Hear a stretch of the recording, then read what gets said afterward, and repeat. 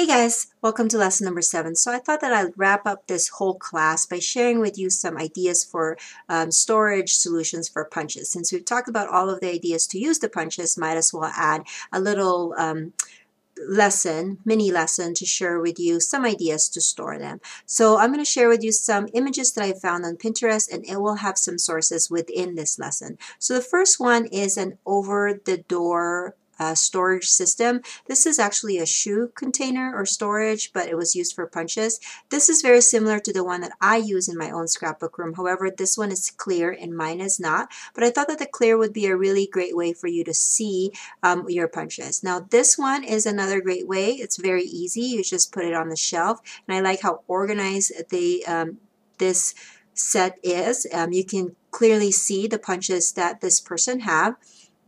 And then it also has other places where you can put boxes and other things. Now this one, uh, I chose this because it's a good DIY um, idea or storage solution. I see that she has placed the punches on the top and then the stamps on the bottom.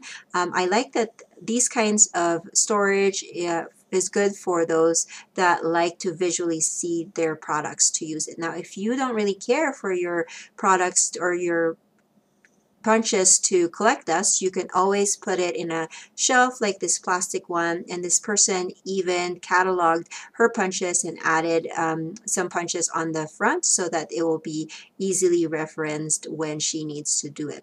Now, uh, she needs to use it rather. Now this one is just a plastic container and it the border punches are, are all organized so you can see what's in there. Um, I have some punches that are uh, in plastic containers similar to this and they are the creative memories that I put specifically on one container because they're all from the same manufacturer. Now this last one I'm sharing because this is a typical one that I've seen a lot of people use. They use the kitchen or the bathroom um, rack, I guess you should say, and then they just hang their punches. And I think it's a great way to use it. So thank you so much for taking the time to watch this little mini lesson, and I hope it gives you some ideas on how to store your own punches.